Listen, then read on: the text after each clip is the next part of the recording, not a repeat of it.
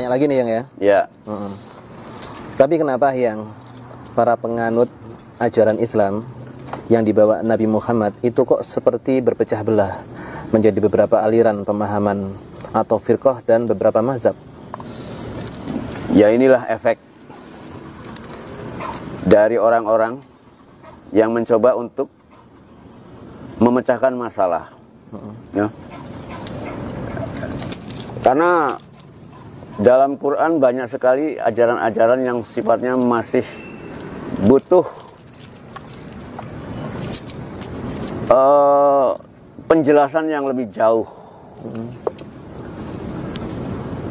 Sehingga muncullah para pemikir yang mencoba untuk memberi penjelasan yang lebih jauh. Satu contoh gini, perintah sholat itu ada di dalam Al-Quran. Tapi cara-cara sholat tidak diajarkan dalam Al-Quran. Itu salah satu contoh aja. Nah sekarang kita beralih ke masalah agama. Apa itu yang disebut agama? Nah ini ketika kita bicara masalah agama, ini sangat rancu sekali. Hmm. Apa yang dipahami dengan orang-orang dengan apa yang dipahami oleh yang sangat berbeda jauh.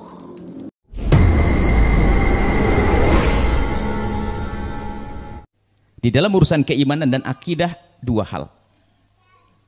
Tekuni kembali manhaj talaqi. Kalau ngambil ilmu akidah sama ilmu iman tuh harus jelas ustadznya. Maka manhaj atau cara mengambil ilmu harus kembali dengan cara talaqi. Talaqi itu jelas gurunya. Kalau zaman dulu talaqi kayak begini, syekh ngajar kitab ini talaqi antara guru dengan murid. Seperti halnya kita kenal buku. Kalau kita ke, ke toko buku, kalau beli buku tahu dulu dong apa yang akan kita beli. Jangan hanya judulnya saja yang menarik. Pengarangnya siapa? Oh Imam Ghazali. Ya sudah saya bawa pulang ke rumah. Misalnya, seperti itu. Jadi kita boleh dengar YouTube-nya orang, dengar, tapi jelas orang itu siapa. Jadi itu pertama talaki. Tolong kepada siapa kita berguru. Kalau sudah ketemu guru, pegangi guru sudah kenal dengan beliau, ambil ilmunya. Terus ikuti perkembangan ilmunya, program-programnya. Karena program ini bukan hanya sekedar didik anak kecil, besok akan gede. Besok akan menjadi ulama, penerus dakwah baginda Nabi. Akidah yang benar kita perlu. Kalau perlu bukan satu dua, berkembang seluruh Indonesia. Yang pertama manhaj talaki. Tolong ibu yang yang sering ikut medsos, kalau belajar yang benar. Guru siapa yang anda ambil? Wah dia terkenal begini-begini. Oh Fir'aun terkenal, enggak usah khawatir. Nggak boleh asal-asal tuh nggak boleh. Harus tahu dulu akidahnya apa orang ini. Kalau enggak jangan main-main. Apalagi orang salah kalimatnya fasih, lembut, enak ke bawah kita tertipu, terhayu kita oleh iblis. Oleh akidah sesat, oleh kebohongan. Disampaikan oleh beliau. Tadi kan ada orang bohong-bohong yang dengan membawa kebatilan tapi pandai ngomong seolah atas nama syariat, Quran hadis, Quran hadis. Itu bahaya sekali. Yang pertama nahaj talaki, berguru itu penting banget. Apalagi tadi disebut asyharin banyak. Falyarfa aydihum azarin. Umum harus gitu nanti. Bangkit ini dengan akidah. Di sana Syekh Imam Bejuri kalau kembali ke atas, masya Allah. Ah, asarin luar biasa. Yang kedua, harus mengetahui identitas. Identitas lima. Identitas lima. Anda harus tahu kalau Anda punya identitas. Riwayah identitas. Identitas lima, identity. Identitas lima. Yang pertama, Anda harus seorang muslim. Ternyata nggak cukup mengaku Islam. Islam wacu macam-macam. Ada Islam sesat, Islam. Yang pertama mengaku Islam, yang kedua harus Islam ahli sunnati wal jamaati harus berani mengatakan aku ahli sunnah wal sekarang banyak ngaku ahli sunnah wal jamaah tapi ngaco. Hati-hati. Makanya harus ahli sunnah wal jamaah yang asyariyah atau maturidiyah. Mengambil menantu batal. Ngaku ahli sunnah ahli sunnah. Asyariyah maturidiyah apaan itu? Batal. Biarpun besok akan nikah. Batal. Asyariyah matu maturidiyah. Yang ketiga adalah harus kenal dengan madhab sufiyah man, manhaj sufiyah dalam beribadah tasawuf sufiyah tasawuf yang keempat yang kelima adalah bermadhab Apal identitas lima? Islam, ahli sunnah wal jamaah, asyariyah maturidiyah, sufiyah, bermadhab. Jadi identitas lima itu penting banget. Jadi kalau tidak bermasalah, karena itulah Islam masuk di Indonesia. Di seluruh dunia. Kalau kalau kita pergi ke Maroko, ke Mesir, pergi ke mana?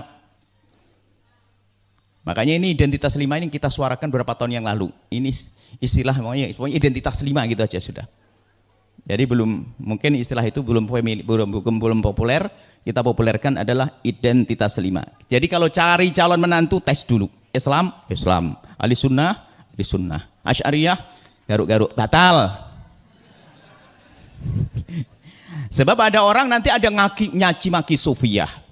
Katanya ke ahli sunnah wal jamaah, tapi tidak tahu dengan dunia tasawuf. Sok bicara tentang tasawuf, sok bicara tentang tasawuf, tak tanya apa? Bermadhab adalah tidak benar, itu adalah bid'ah. Kan kacau. Harus berani bermadhab.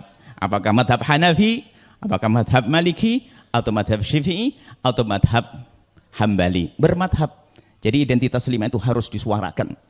Kemudian perlahan-perlahan nanti setiap kelas ada pendidikan mengenal tentang Islam, kenalkan hadis Jibril, iman kepada Islam yang disarukun Islam. Kemudian mulai melangkah ke bab Selanjutnya, akidah sunnah wal jamaah asy'ariyah yang diajarkan di masjid. Ya sifat akidatul awam diapal dari kecil. Nah ini jawharatul tauhid, kharitatul bahiyah.